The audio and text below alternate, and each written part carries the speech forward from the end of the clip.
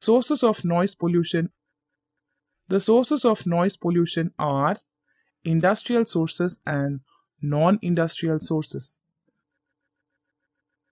The noise dumped into the atmosphere by the industries due to the functioning of machineries form the industrial source. On the other hand, the noise associated with urban development, road, air, and rail transport, loudspeakers, radio and television stations, construction sites,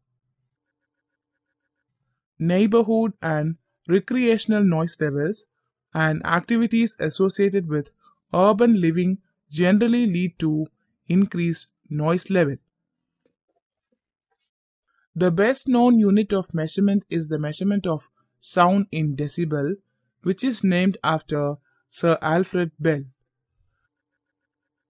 The Industrial Noise Survey of India recognized noise levels from 81 decibels to 120 decibels as permissible levels.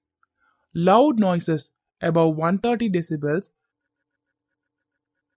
can cause immediate and permanent damage to the muscles in the middle ear, altering the stiffness of the ossicles, damaging the hair cells of cochlea, and causing the rupture of the eardrum, thereby reducing the efficiency of hearing.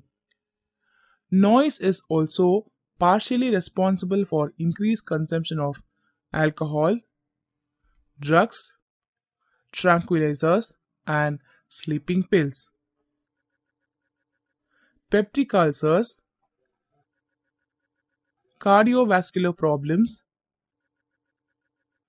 constriction of glomerular circulation,